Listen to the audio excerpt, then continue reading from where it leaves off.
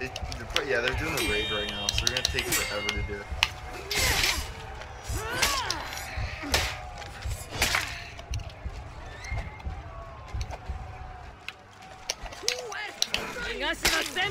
Victory!